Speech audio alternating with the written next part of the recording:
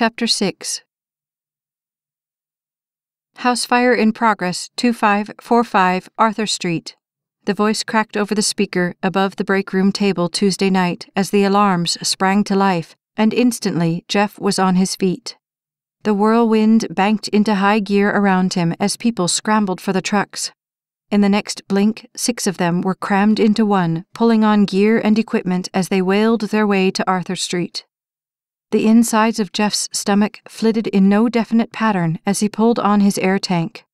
This was it, the one he had worked for, trained for, wanted to do, and suddenly the moment was upon him. Only the streetlights lit the night surrounding them as they sped to their destination, where in rapid succession they jumped out. Flames illuminated the night sky, jumping out of the second story of the house and reaching for the roof of the house ten feet over. Teague and Jackson, cut the utilities, Captain Rainier, the B shift crew chief said as the truck slid to a stop. Jameson, you and Taylor get the vent holes cut. When his feet hit the street, Jeff grabbed the extension ladder and started for the house. In seconds, Zach Jameson was there, climbing up with a roof ladder and chainsaw in hand. As soon as the saw was whirring, Jeff turned back for the truck, feeding one of the cotton hoses from the top of the truck down to Jackson, who had just returned. The training kicked in. His hands just worked, pulling the hose as it fed off the truck. At that moment, a frantic lady dressed only in a thin, flowery robe ran smack into the chaos and right up to Jeff's side. Caleb, did they get Caleb out? she asked, pulling on the edge of Jeff's coat as he fought to extract the last of the hose from the truck. When he turned, those eyes seemed terribly familiar. Fear. Utter, inconsolable terror. Who's Caleb? he asked, even as he worked. The hose hit the end. That's it. He's the little boy. He's eight. He's about so high with red hair and freckles. Where was he supposed to be? Jeff asked, trying to pay attention to everything at once. He was staying home tonight, by himself, while his mom and dad went out. They asked me to watch him. I didn't know anything until I heard the. Captain, we've got a problem, Jeff said, striding right up to where Gabe and the captain were strategizing where to go from here. Rainier looked up. What's that? There might be a kid inside. Might be? I didn't know. He said he was going to bed, the lady said as hysteria invaded her body and soul. Where's his room? Rainier asked. It's on the first floor in the back, the lady said. He just called me 30 minutes ago and everything was fine. Jeff looked at the captain, who yelled to two other firefighters running by. When they ran up, the captain briefed them and broke them into two groups. Gabe and Jeff would go around back, the other two would go in the front. Six words of final instructions before Jeff ran to the truck, where he grabbed the pry bar as Gabe pulled off an axe. The two of them raced down the darkened side of the house. At the gate, Gabe stopped, rattling the whole fence in his frantic attempt to get in. It's locked. Great. Jeff's brain sped ahead of him like a race car. Here. He dumped the metal at Gabe's feet, jumped onto the house's cooling system, which stood by the gate. Two short motions, and he was over. Pitch me the stuff. The equipment landed on the other side of the fence in a non discernible pattern, and his hands moved in rapid succession, retrieving all of it just as Gabe joined him on that side of the fence. They ran for the house, and at the first window, Jeff pounded on the glass, Hey, anybody in there? Caleb, anybody? The only answer was the popping of the flames high above them. At that moment, he heard the crash and ran to where Gabe had just hacked through the plate glass back door. He reached in as the smoke poured out of the gaping hole. One click, and they were in. The glass crunched under his boot as Jeff stepped through the opening, and the middle of his heart slammed into his chest. Caleb, a scared little eight year old kid in a two story maze that he had no map for. Where was that little boy? Jeff pulled on his air mask as the smoke enveloped him. It was blinding, and he bumped into a dining room chair which sent him crashing into the wall. There were so many places a little kid could be. Feeling his way through the darkness, lit only by the pathetic flashlight he swung this way and that, Jeff slid down the wall until it suddenly broke into a hallway and he turned into the opening. Caleb? Caleb, buddy, where are you? nothing was quiet. Voices, water, fire, sirens, windows shattering from the heat, trying to find its way out. Then he saw what looked like a white cloth heaped next to the wall. I found him, he called to anyone who could hear anything in the melee. Gently, he picked up the little body, which felt like it weighed nothing at all. He met Gabe coming from the other direction, and they hit the opening together. Get out! Get out! Gabe yelled, as if Jeff had any intention of hanging around for the rest of the show. Snaps and a crack. The fire was eating the second floor away right above them. It wasn't really running so much as just stepping cautiously as he fought through the smoke to find his way back out into the cool night. It's this way. Gabe grabbed his elbow and dragged him back into the dining room. Hurry! Crunch went the glass under his boot as Jeff became part of the smoke pouring out into the backyard. The streetlight beam gave him the first real look at what felt like a rag doll in his arms. Barely eight, the freckles stood out in stark contrast to the pale face. Oh God, please. A wail not wholly like a fire truck sliced through the night. Let's get him out front, Gabe said at the gate, which gave way with the first axe hit on the metal. Jeff's legs were hurrying through the darkness, but he didn't really feel anything as they broke past the trees on the edge of the house and into the swirl of lights flashing across the houses, making them look like a fun house gone mad. In a blink, he saw the EMTs rushing up the grass. Over here, he called, skidding to a stop on the grass and laying the little, limp body in front of him. We've got it. One of the EMTs pushed him away, and Jeff backed up enough to let the team take the lead. Hey, you okay? Gabe asked with a clap on his back. He coughed twice. Yeah. He's breathing, one of the paramedics said as they all jumped into motion. It was only when the youngest one stood to get the stretcher from the ambulance that Jeff recognized him. That flash, and then he was gone. Teague, Taylor, the captain yelled. We need you guys ready to go in. A small look back, and Jeff turned. There was more work to be done. The clock in the locker room read 4:15 when he stumbled back in, his fellow firefighters surrounding him, sooty and grime covered. They all looked like they had just come home from an all-nighter in hell. I hope the kid's going to be okay, Gabe said, pulling off his boots slowly as the sound of the showers hazed out the comment. Yeah, Jeff reached into his locker for the little gold cross. He needed it right now. Pulling its strength into his soul, he ran a hand over it and then yanked it on over his head. They weren't supposed to wear things like that at work, but he needed something. You did good out there, Taylor, Gabe said as Jeff stood on his way to the showers. Just doing my job. Well, I'd be happy to help you do it any day of the week. With a smile, Jeff reached out and caught Gabe's hand on the way forward. Watch what you wish for. Lisa noticed the picture of the gutted house on the front page of the Chronicle the next morning, and her interest riveted to the story. Midnight on a Tuesday. Sunday flitted through her mind, but after that. Her hand flipped through the paper, but there was nothing about him. Not that she really expected there to be. It was crazy to even think about him, but the center of her heart hoped fervently that he was at home in bed when that one happened. Of course, she knew even if he was, he wouldn't be forever. Eventually, the law of averages would put him in one of those burning buildings. Eventually. She folded the paper and laid it to the side. Work was what was important now. Work. Jeff and all the other guys in the world would have to take care of themselves. She certainly didn't need to be wasting valuable energy stores on keeping up with them.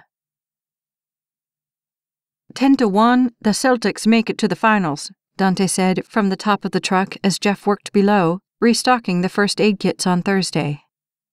You and the Celtics, Hunter said as a road cone from the top of the truck landed on the concrete behind Jeff. Why don't you get a real team? Like who? The awesome Nets? Dante walked past Jeff to the truck door. Please, they can't even spell basketball, much less play it. Oh, yeah, like the Celtics all have PhDs, Hunter shot back as another road cone hit the ground behind Jeff. Hey, Would you quit throwing those down? Dante yelled. You're going to break something important. Like what? Hunter asked. My head, for one, Jeff said, looking up at the man standing far above him like a supernatural cowboy. No, Dante ducked back out of the truck. I said important. Jeff shook his head and buried it in the first aid compartment. Why did he even try? Lisa, the voice said at her doorway as she sat in her office Friday evening, clicking through the internet looking for a good picture of a zebra that they could use. She looked up and came to immediate attention. Tucker? Yeah, sorry to disturb you. He opened the door wider and stepped in. Sherry said it was okay. Oh, Lisa fought to rebalance her world. Come in, have a seat. Her hands went to work straightening her desk. Sherry knew better, but Lisa also knew her secretary had a huge crush on Tucker and his all American blonde good looks. One little please, and Sherry would have dove off a cliff for him. What can I do for you? I brought over this list of venues. Tucker held them up after he sat down. Grandpa thought we'd better get something booked before all the space is gone. Oh, okay. She reached for them. Let me see. However, he pulled them back. What do you say we do this over some dinner? It's almost six, and you have to eat anyway. Dinner? I'm kind of busy right now. She glanced at the zebra on her screen and wished she could join him in that nice green grass. Can't we just go over them here? I made reservations at La Tour d'Argent. D'Argent? Over on the bayou? she asked, sensing a trap. Why would you do that? Because you have to eat and I have to eat, and we can talk while we eat. He looked at his watch, and all Lisa could think was that she would really like to break that perfectly straight nose of his. We've got to get, though, or we're going to be late. Late? How about never? Pushing all the protests of her rational side down, she stood. Let's get this over with so I can get back to work. Quickly, she grabbed her purse and made sure her money was in it. When she got to the door, she felt his hand guide her through it, and every fiber in her body wanted to smack it away. Sherry, I'm going to take off. Lisa readjusted her purse on her shoulder, and she didn't miss the dreamy look her secretary wafted over the two of them. Just lay the calls I need to return on my desk. Sure, boss, no problem, and that dreamy gaze followed them right out the door. At the elevator, Tucker reached past her and pushed the button. They stepped on, and he pushed too. My car's on the third, she said, and when he didn't reach for the button, she did, but he stopped her hand with his. Let's just take mine, he said, and she hated that tone. That way we can talk on the way. And get this over faster? That would be a blessing. Wishing it wasn't so hard to ignore the slithery way his gaze slid down across her, she stepped out into the parking garage. The second level. It was where she used to park until she hadn't been able to find a space that one day. Now, when she pulled into the garage, she told herself that parking on the third gave her a reason to take the stairs, which had to qualify for some exercise. However, the real reason was always right there in the shadows of her heart. They stopped at the new two tone beige Lexus, and Tucker opened her door first. Smoothly, he took her hand as she folded onto the leather seats. As soon as she was in, she pulled her hand from the fingers that felt like they had been soaked in butter for two solid decades. When he shut the door, she sat back, pulling herself straight up as she did. Professional. Keep this professional, and he won't get any ideas. Quickly, she grabbed the seatbelt and wrapped it around herself. One more barrier, one more line of defense. His smile brought out the alarms in her spirit when he got in on the other side. He backed out, squealed the tires once, and they were off. The whole ride, Lisa kept her gaze trained out the window and her hands wrapped around the edge of her purse. When he turned on the stereo to slow, hold me tight music, she tapped her fingers over the purse, trying to make time run just a little faster. At the restaurant, Tucker let the attendant park the car. They were three steps up to the restaurant when Lisa noticed he had no notes in his hands. I thought we were going to talk business. He looked at her and smiled in that infuriating way that said she really should stop thinking so much and just let him lead. We'll talk business later. Then what are we going to talk about now? But she didn't have time to ask that question as Tucker was already conversing with the maitre d'.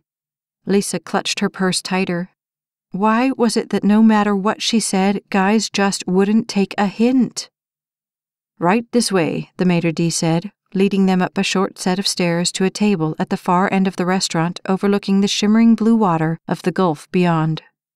Perfect, Tucker said, and Lisa saw the bills pass from one hand to the other. Purposefully, she sat down, grabbed the menu, and perused it. The only thought going through her head was that this one dinner might bankrupt her entire company. A moment more, and Tucker joined her. I'm surprised you didn't have plans.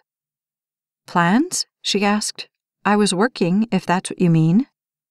No, I mean plans, you know, with friends or something. I had enough fun last week to last me a while, she said sourly. The shrimp looks good. He wasn't even looking at his menu. Instead, he looked like he was trying out for some modeling job for Oscar de la Renta. That suit just screamed, Do you know how much money I have? It annoyed her to the nth degree. I'm sure glad Grandpa decided to go with your little firm. I just knew this was going to work out so well. In fact, I've been trying to talk the old man into letting me run with this. Well, with your help, of course. Hmm, that's nice, she said, barely listening. I wonder if the swordfish is fresh. I was really excited about it until he came up with his ridiculous public servant angle. I mean, what can the kids learn from the blue collar set about leadership? It's almost laughable. Lisa's gaze jumped to his as a serrated remark crossed her mind. However, the waiter picked that moment to approach their table. They ordered, and Lisa seriously considered grabbing onto the guy's leg and begging him not to leave them alone. However, she discounted that plan because something said that might invite more trouble than it would thwart. It's such a beautiful evening, Tucker said, gazing out across the gulf as he took a small sip of water. Then he turned liquid eyes on her. Almost as beautiful as you are. Well, that's original. So, we were going to go over the venues? He brushed that idea away with a swipe. Maybe later. How about we just get to know each other a little better? She started to protest, but he didn't give her a chance. I bet you didn't know I graduated from Yale, he said, taking the words right out of her mouth. Second in my class. Did my grandfather mention that? Um, no, I don't think so. The waiter returned with two glasses of wine, and as Lisa looked at it, she wondered how fast she would have to drink one glass of wine to make her drunk enough to get through a nightmare like this one. Yeah, Tucker continued without even acknowledging the waiter. And at the rate I'm going, I'll probably take over Cordell Enterprises by the time I'm 30. How nice for you, she said, taking another drink. I had offers lined up at the door when I graduated, Tucker said, but I said, no, I want to stay with a family business. Loyalty, you know. People see that, and they know I've got things figured out.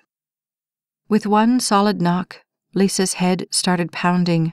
What she wouldn't have given for a loud, chaotic club where conversation was futile, and what she wouldn't give to have the guts to just stand up, call herself a cab, and tell Cordell Enterprises and Tucker himself to go jump off the highest cliff they could find. Instead, she forced a smile, telling herself that if it just got no worse than this, she could deal with it. When Jeff unlocked his door on Friday evening, he set the two bags of groceries on the little table. His fingers reached into his pocket and pulled out the little card that had spent the last week there. Slowly, he turned it over as he slipped the coat off his shoulders. Calling her was crazy. How many ways could a person say, I am not interested, leave me alone. However, as clear as that was to his head, his heart just wasn't getting the message. Somehow, he had hoped she would show up yesterday. Why, he didn't know. It was just that now she and Thursday were somehow intertwined in his head. Nonetheless, she hadn't, and so here he was. He picked up the phone, held it for a moment, and then dialed his second choice. Maybe if he just talked to somebody who had some sanity left, that would help him forget about her. In a heap, he slumped onto the bar stool next to the wall. Dustin, hey man. Jeffrey, long time no speak. What's up? Not much, Jeff said as his fingers turned the card over. How's work? Big station, lots of names, great fun. You? About the same. Jeff leaned back against the corner of the wall. How's Eve? Burning supper, again, Dustin said with a laugh. Hey, the voice in the background protested. I heard that. It's okay. I didn't marry her for her cooking skills, Dustin said, and Jeff heard her muffled voice. A twang jumped into his heart as the card flipped over his fingers and onto the counter. No, she's cool, but she wants to know if you ever got up the guts to go over to Travis. Air failed. No words would come. Hey, Jeff, you still there? Dustin asked after a moment. Yeah, I'm here. So, did you go? No, well, not exactly, but we kind of bumped into each other the other day. Fate, cool. Tell me more. Not much to tell. She gave me her card. And you called her? Well, no. Jeffrey, Bud, this bumping into each other thing is cool and all, but you're going to miss this train if you don't get it in gear. He got the number. Okay, a number. Why wasn't that enough? I just don't want her to think I'm like. Interested? You are interested, so what's the problem? I don't know. His head hit the wall behind him three times. Just call her, Dustin said gently. I'm sure she'll be happy to hear from you unless she's completely dense. Call her. Jeff finally sighed and looked down at the little card. Okay, I'll call her. Putting her hand on the table was a mistake. Lisa had gotten that message loud and clear. It was like Tucker's buttery hand was a magnet for the top of hers. She had pulled hers back so many times by the time the entrees arrived, she thought she might get a repetitive motion injury. And Dad just thinks this is such a wonderful opportunity. Tucker droned on until Lisa's brain had to find something else to think about, lest she go insane. I do too, of course. I mean, who wouldn't? Great company, fabulous pay. The gold cross shining against the black backdrop of muscles and t shirt floated through her mind, followed in the next heartbeat by that denim and suede jacket. It was so low key, and yet so completely breathtaking. To be honest, she wasn't sure if it was the jacket or the layers underneath that intrigued her so much. That arm exuding strength caught her attention, and she wondered how many hours someone would have to spend in the gym to get arms like that. So, how about it? Tucker asked when the dessert dishes were cleared. Lisa? Oh, yeah. She shook the dream away from her. Okay. It was a good cover until she saw the Colgate smile that was in front of her rather than the lopsided one in her memories. Great, then let's go, Tucker said as he took her hand to help her out of the chair. Go? Where? The middle of her being asked, just as a layer down, something said, Never let them take you to the second crime scene. She was really going to have to lay off the wine and those deadly fantasies. Hi, Lisa, Jeff said, praying his voice would make it through this message. Leaving a message for her at work? Not a good idea, and yet he had made it this far, he wasn't going to turn back now. This this is Jeff, from the fire station. Um, I thought you might still be at work, but I guess not. Well, I just wanted to call and say hi and ask how your week went, but, um, if you get this sometime, my number is 555 8696. You can call any time. I guess take care, and maybe I'll try to catch you some other time. Bye. His hand hung up the phone, and he collapsed headfirst into the couch. That had to be the worst phone message in the whole history of phone messages. Pushing himself up from the couch, he walked to the back of the apartment to the weight bench sitting in his bedroom. Yanking one barbell laden with weights up from its perch, he sat down on the bench and curved his arm to pull the barbell to him once, twice, three times. She wouldn't call back, that much was for sure. Four, five, six, and why would she? He wouldn't. Ten, eleven, twelve. In fits, his brain showed him pictures that he really didn't want to see. Fourteen, fifteen, sixteen. Why did her smile have to make the top of his chest feel like it might explode at any moment? Twenty, twenty-one, twenty-two. One look should have told him he didn't have a chance with her. She was beautiful, gorgeous, the kind of girl who walks into a room and heads turn. Not like him. No, when he walked into a room, no one even noticed. 45, 46, 47.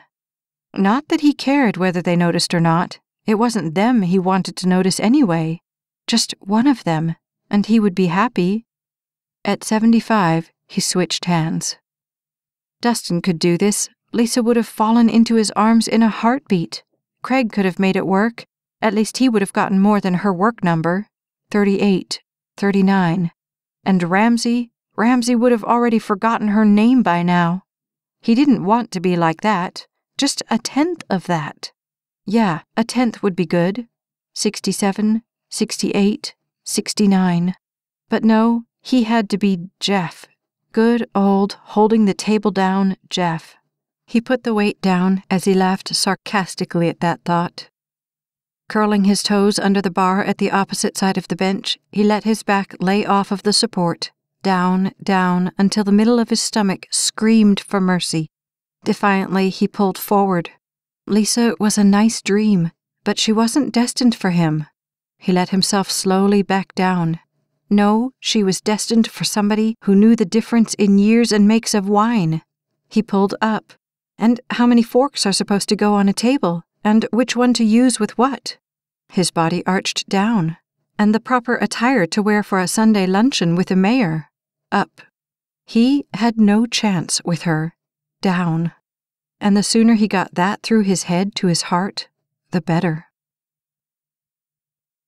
This, um, this wasn't what I had in mind, Lisa said when Tucker's car turned up the street to the bar Houston. I'm really not into dancing. Just a little.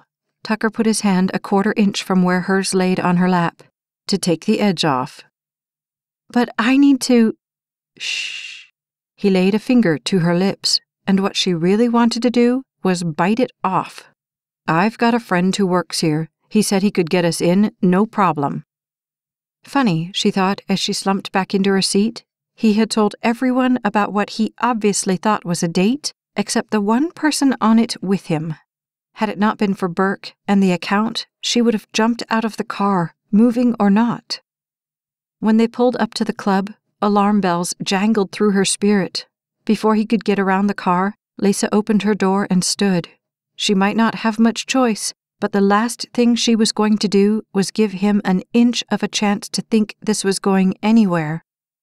At the door, Tucker made a production of summoning his friend, who indeed let them right in. Her brain searched frantically for some way out. However, it kept running right into Burke. At a booth, Tucker stopped. How about here? Anything but a booth, she thought tiredly, but she shrugged and slid in anyway. It took only seconds to realize what a huge mistake that was when Tucker arched one arm across the back of the booth while the other searched in the darkness under the table for her hand. You know, she said in panicked retreat, I've got to visit the ladies' room.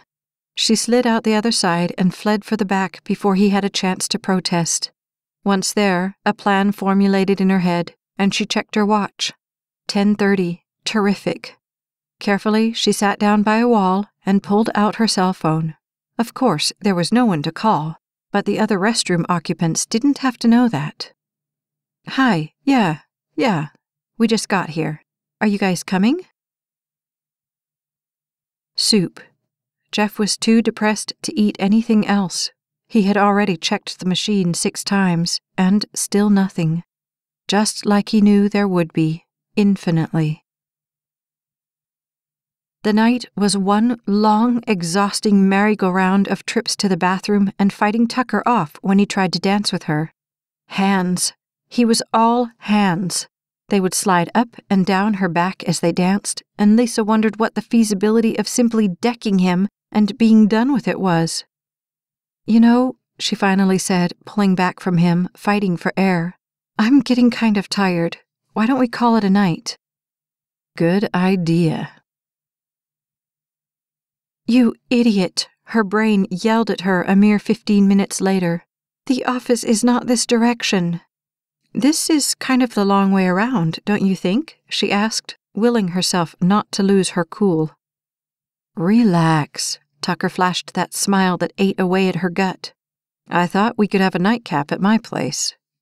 She closed her eyes, knowing Polite was going to get her in the middle of a wrestling match she had been a participant in one too many times. Look, I'm really tired. I need to go back and get my car. Hard to get. He put his hand on her shoulder and dug into the hardened muscles there. I like that. No. She took his hand and put it back on the steering wheel. Not hard to get. No get. Now, take me back to my car.